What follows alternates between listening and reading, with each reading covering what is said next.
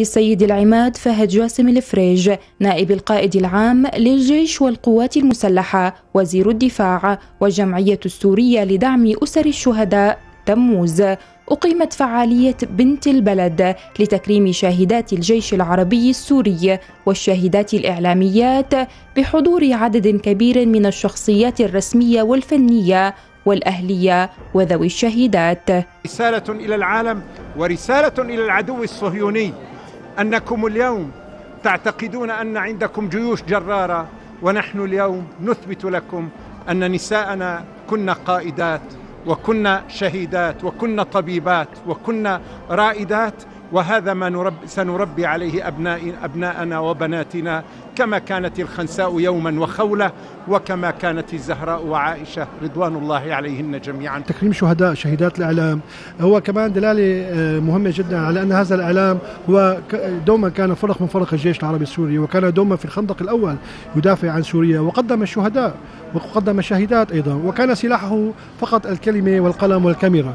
ومع ذلك تم استهداف آه، هذا الإعلام وتم استهداف هذا الكادر الإعلامي وأستطاع هذا الإعلام وبكل صدق يعني وشفافية أن يواجه هذه الإمبراطوريات الإمبراطوريات الإعلامية المدججة بالمال والخبرات الفنية وأستطاع آه، يرفع كلمة سوريا كلمة الحق صداحا في هذا الفضاء الإعلامي. نحن آه، كجمعية سورية لدعم اسر الشهداء تموز فعالياتنا على مدى العام. نحن بنكرم كل الشهداء في سوريا. ولكن اليوم حبينا نخص شهيدات الجيش العربي السوري لنسلط الضوء على هالبنات البطلات اللي يلي يمكن في كثير ناس ما بيعرفوا شو اللي عم يقدموه. الفيلم اللي شفتوه اللي حضرناه اليوم هدول عم يحكي عن بنات تركوا بيتهم وتركوا حياتهم الخاصة وتركوا كل شيء وحملوا السلاح ليوقفوا كتف بكتف مع المقاتل بالجيش العربي السوري ليقولوا إنه المرأة السورية يعني آه، أخت رجال وهي بنت البلد وهي اللي رح تدافع مثل مثل الشاب عن هالبلد لحتى ننتصر. بعد الإصابة الواحد آه، بيقول إنه بيتردد إنه يقول ما عاد بده يطلع أو كذا. لما في يلاقي ناس عم تهتم فيه ولسه ناس آه، كثير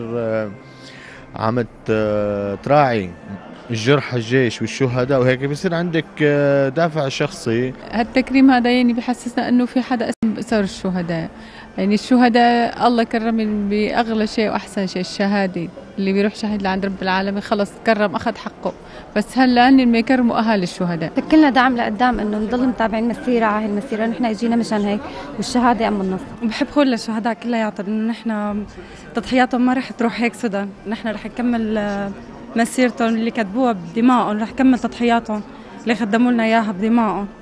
هي المرأة السورية كانت وما زالت تثبت جدارة وتميزا عبر العصور فهي الأم المربية الأنثى المعطاءة واليوم هي شهيدة الواجب والحق رفيقة السلاح والسند الحقيقي لبواسل الجيش العربي السوري. لذلك استحقت منا كل التقدير والاحترام اليوم وكل يوم.